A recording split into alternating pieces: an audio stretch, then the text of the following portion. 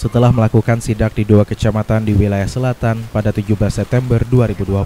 Didapati hasil yang mana para pelanggar didominasi oleh masyarakat dari luar Kabupaten Tabalong. Dari hasil tersebut, petugas gabungan pun menilai masyarakat Tabalong sudah mulai menyadari pentingnya penerapan protokol kesehatan.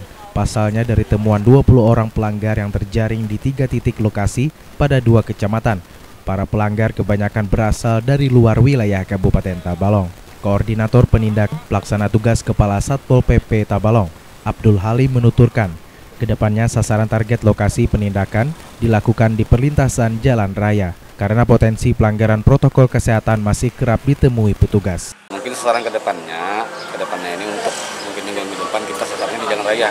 Kenapa jalan raya? Karena ini kan lintas lintas Kalimantan lah biasanya kan Kalteng, kemudian ke Banjarmasin. Nah, jadi yang kita jumpai ini kebanyakannya itu warga di luar Tabalong. Jadi sebenarnya kalau kita melihat hasil hari ini, terutama di Dakaluwa, tingkat kesadaran e, masyarakat kita akan pentingnya masker tadi sudah lumayan tinggi.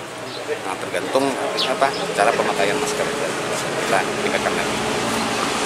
Untuk menguji tingkat kesadaran di wilayah tengah, petugas gabungan kembali melaksanakan sidak masker di Pasar Tanjung pada 18 September 2020.